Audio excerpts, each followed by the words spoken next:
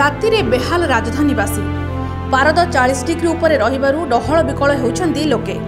ତାତିରୁ ସାମାନ୍ୟ ତ୍ରାହି ପାଇଁ ଥଣ୍ଡା ପାନୀୟ ଦୋକାନରେ ପ୍ରବଳ ଭିଡ଼ ଦେଖିବାକୁ ମିଳୁଛି। କିଏ ଆଖୁରସ ପିଇବାକୁ ପସନ୍ଦ କରୁଛନ୍ତି ତ କିଏ ତରଭୁଜ ଖାଇବାକୁ ପସନ୍ଦ କରୁଛନ୍ତି। ଏହା ସହ ଘରୁ ବାହାରିଲା ବେଳେ ହାତରେ ଛତା ପାନୀୟ ଜଳ ଓ ମୁଣ୍ଡରେ ଗାମୁଛା ଭିଡ଼ି ଯିବାର ଦେଖିବାକୁ ମିଳିଛି। ଆଖୁରସ ଦୋକାନରେ ଆଖୁରସ ଗ୍ଲାସ୍ ପିଛା ପନ୍ଦରରୁ କୋଡ଼ିଏ ଟଙ୍କା ଦର ଥିବାବେଳେ ତରଭୁଜ କିଲୋ ପିଛା ପଚିଶ ଟଙ୍କା ରହିଛି।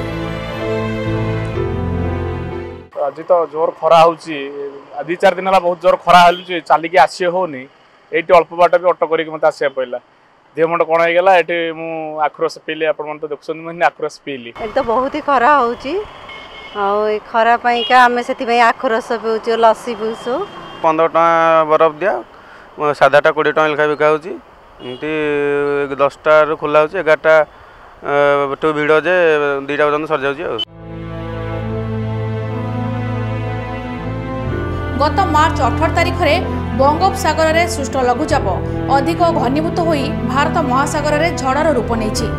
ସିଧାସଳଖ ଭାବରେ ଓଡ଼ିଶାରେ ଏହାର ପ୍ରଭାବ ପଡ଼ିବ ନାହିଁ। ତେବେ ବଙ୍ଗୋପସାଗରରୁ ଥଣ୍ଡା ଜଳୀୟ ବାଷ୍ପ ଓଡ଼ିଶା ଆଡ଼କୁ ଆସୁଥିବାରୁ ରାଜ୍ୟରେ ଲାଗି ରହିଥିବା ଗ୍ରୀଷ୍ମ ପ୍ରବାହରେ ଆଜିଠାରୁ ଲାଗିବ ବ୍ରେକ୍। ଫଳରେ ତାପମାତ୍ରା ଦୁଇରୁ ତିନି ଡିଗ୍ରୀ ପର୍ଯ୍ୟନ୍ତ କମିବ। ବେପାର ଟିକେ କମ୍ ଅଛି ଖରା ହେଲେ ବେପାର ହେବ। କିଲୋ କୋଡ଼ିଏ ଟଙ୍କା ବିକ୍ରି ହେଉଛି। ଲୋକ ଆସ୍ତେ ଆସ୍ତେ ଖାଉଛନ୍ତି ଆଉ ଖାଇବେ ଆଉ ଆଉ ଟିକେ ଖରା ହେଲେ ଆଉ। ଆମର ସମୁଦ୍ର ମଧ୍ୟରୁ ଯେଉଁଟାକି ଶୀତଳ ଏବଂ ଜଳୀୟ ବାଷ୍ପପୂର୍ଣ୍ଣ ବାୟୁ ଧୀରେ ଧୀରେ ଓଡ଼ିଶା ମଧ୍ୟକୁ ପ୍ରବେଶ କରିବ ଏବଂ ଯେଉଁ ପଶ୍ଚିମ ଉତ୍ତର ପଶ୍ଚିମ ଦିଗରୁ ଯେଉଁ ଶୁଷ୍କ ଏବଂ ଗରମ ବାୟୁ ପ୍ରବାହିତ ହେଉଥିଲା ତା ଧୀରେ ଧୀରେ ଦୁର୍ବଳ ହେବ। ଯାହା ପ୍ରଭାବରେ ଦିନ ତାପମାତ୍ରା ଦୁଇରୁ ତିନି ଡିଗ୍ରୀ ତଳକୁ ଖସିବ ଏବଂ ଆମର ଯେଉଁ ଗ୍ରୀଷ୍ମ ପ୍ରବାହର ପ୍ରଭାବ ମଧ୍ୟ ଓଡ଼ିଶା ଉପରେ କମିଯିବ। ରାତିର ପୂର୍ଣ୍ଣ ଥଣ୍ଡା ବାୟୁ ପ୍ରବାହ ପାଇଁ ପାଗ ବଦଳିବା ସହ କିଛି ସ୍ଥାନରେ ବର୍ଷା ହେବ।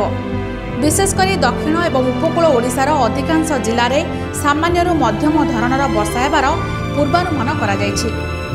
ଭୁବନେଶ୍ୱରରୁ କ୍ୟାମେରାମ୍ୟାନ୍ ପ୍ରତାପଙ୍କ ସହ ଚନ୍ଦନଙ୍କ report mobile news twenty four seven.